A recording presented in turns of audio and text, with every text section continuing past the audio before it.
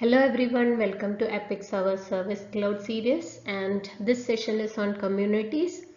Before I start, I would like to thank Amit and Apex Hours for giving me this opportunity. Myself, Ranjani Janardhanan, I am working as a solution architect at UST. I am a Salesforce certified system and application architect. Also, I am the leader for Kochi Women in Tech community group. Community Cloud is now known as Experience Cloud and earlier we were used to create communities and now in Experience Cloud we will be creating sites. So whenever I mention Community Cloud or Experience Cloud or sites, everything is the same. Let's see the agenda for the session. First, let's see why do we need communities and we do have different types of licenses that Salesforce is providing for communities. Let's see how we can choose the community license based on our requirements and finally let's create a community. So our first agenda is why communities. Salesforce communities are brand spaces that work to facilitate collaboration and connection for employees, business partners and customers. When you need a way for your customers to engage beyond the company's social media platforms, you can create communities. Customer sites give customers an easy way to interact with the company whenever and wherever they are.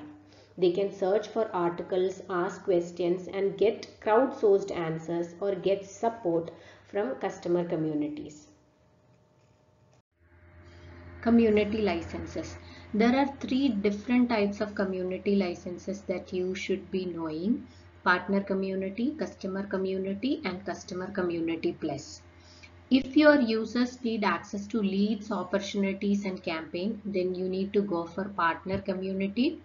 If not, if other than leads, opportunities and campaign, then you can select customer community.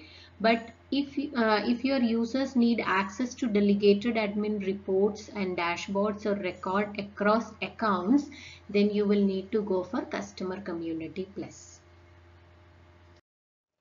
Let's see the steps for creating a site and after that uh, I will demo uh, how to create a site.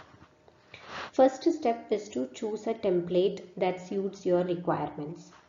After that, you can pick a theme uh, in order to brand your site. And you can add the components and contents to your site. After that, you can connect the data and process. And finally, you can launch your site. Now let's see a demo. Let's see how can we enable digital experience and create a community or a site. Go to setup and search for digital experience. You can go to the settings and enable this digital experience. You will need a domain name here. I'm going to give some domain name okay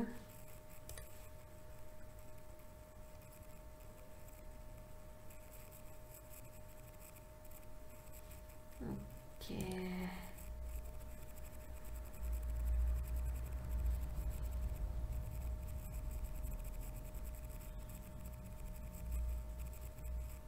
Okay. Now the digital experience is enabled. We can create new site let's create a new site now. If you uh, search for site from setup you can see this all sites. And from here you can create a new site. When you click on new it will ask for you to select a template. So I'm going to select this customer service template.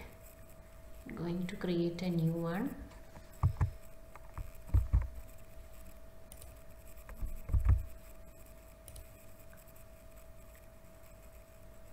it will take uh, 2-3 minutes to get the site created and you will get an email.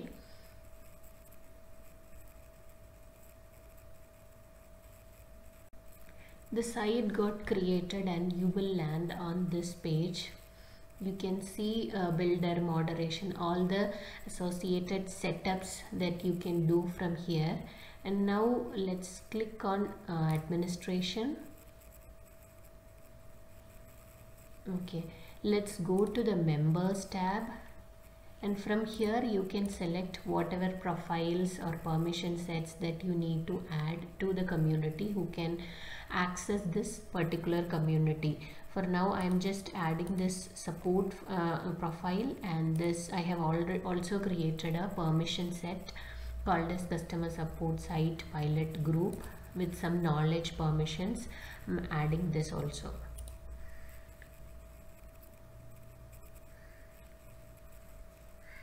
okay now let's go back to this builder.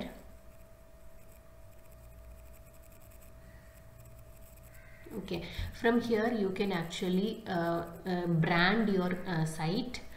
Uh, okay if you go to this uh, theme and go to images you can add your uh, company logo Um, yeah I'm adding this logo. And you can also add the header image. Yeah okay. Yeah. You can see the logo and the header image got updated. And then you can also uh, change this uh, header settings. So I am just changing this wordings.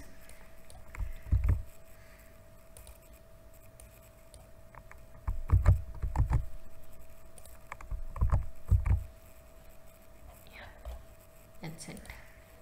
You can see that got uh, updated then and there and once you are done with the um, branding you can just publish your site.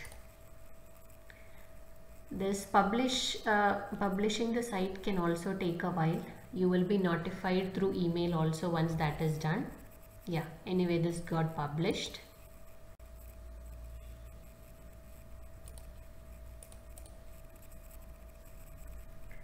Once the site is published you can actually preview the site okay.